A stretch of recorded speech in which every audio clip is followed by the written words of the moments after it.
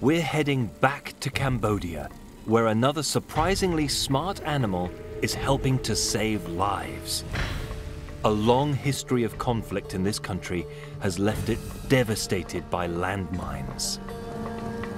Finding these mines has relied upon experts in body armor painstakingly sweeping with metal detectors. But it's estimated that 5 million deadly devices still litter the countryside.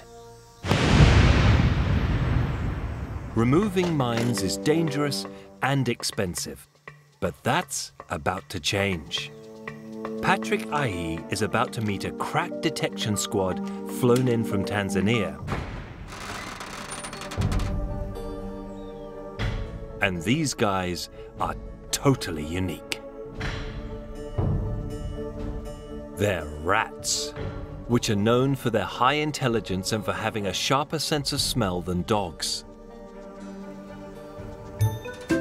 From a few weeks old, these rats have been trained to sniff out TNT, the explosive found in landmines. They're not your common urban rat, but African giant pouched rats.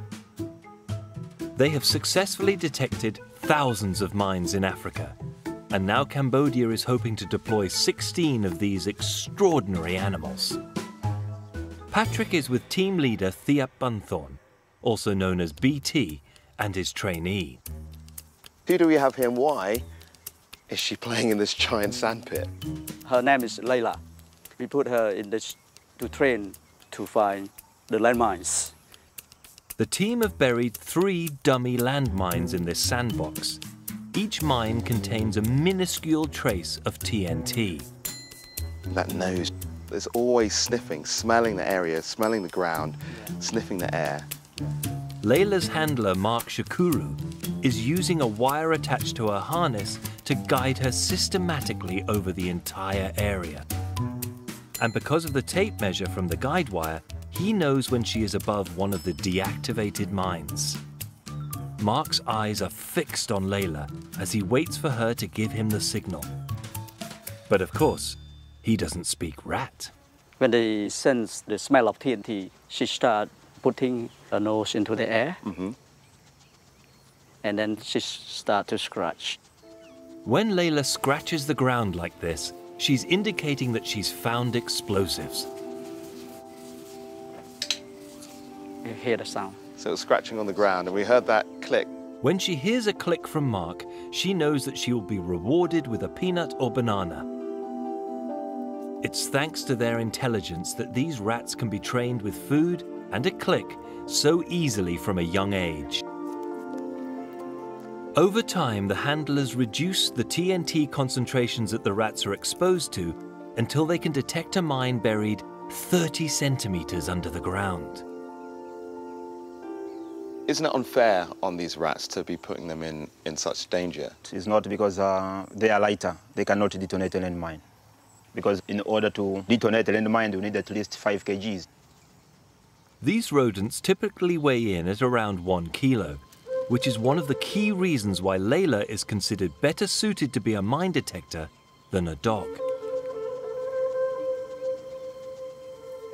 Can we actually see if she's getting this right? Because Yeah, you're telling me this, but I want to actually see if it's, if it's true. Yeah, I don't believe it just yet. You haven't got me just yet.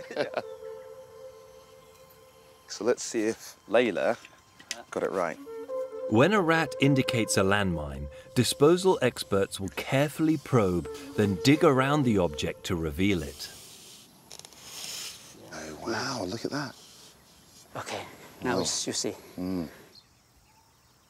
Mark knows that the relationship between a rat and its handler could be the difference between life and death.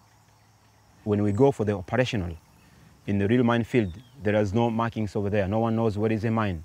So you have to rely on your, your, your, your rat. You're working as a team.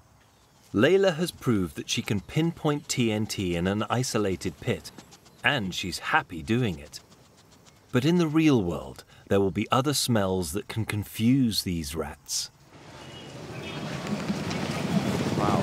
Mark's colleague, Sharima Vandeleen, is putting another African rat through a different stage of training. Because it was raised in Tanzania, this rat needs a crash course in the smells and sounds of Cambodia. This is something completely new. There are new sights, smells.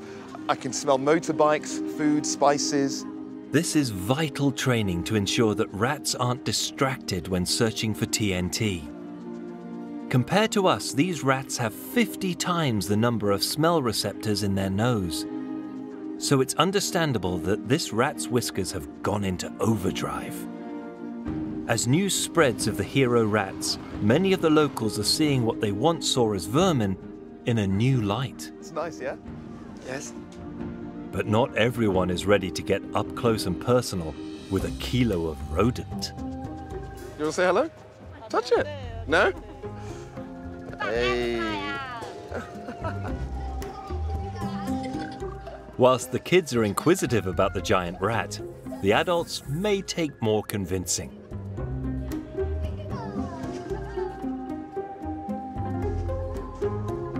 Finally, it's back to rat boot camp for a well-earned sleep. After 12 months of training, the hero rats are just weeks from active service. Training in a sandpit is one thing, but it's vital the rats are used to working in a training field that more closely resembles the Cambodian countryside, with all the other smells that could distract these super sniffers. To make it more realistic, the team has buried all kinds of things, including discarded metal objects, which you'd typically find in the ground with mines. These objects force a human team with metal detectors to stop and carefully dig each object up, wasting valuable time. But how will the rats cope? So here you've also got other metal fragments. Yes, because we want to confuse the rats. Ah, The first decoy is a tin can. And it's right under her nose. But she's not fooled. brilliant. But will she locate the dummy mine with a newcomer at the reins? Even with a novice like Patrick in charge, Layla quickly goes to work. She's got that nose in the air. Layla's scratching. That's a landmine. hey, well done. Time for a nutty reward. There you go. Yeah, Layla yeah. doesn't miss a single marker in the whole area. It would take these rats about, what, 15, 20 minutes to search an area, 200 square meters, whereas it would take a human team five days. Yes. It's so amazing. These hero rats, with their astonishing sense of smell, have already helped clear 13,000 landmines from Mozambique, rendering the country mine free. I hope that this tool can assist a lot in Cambodia so the people can get their lands To get their lives back. yeah, and the lives better off. All because of one small rat. Yes, you are right.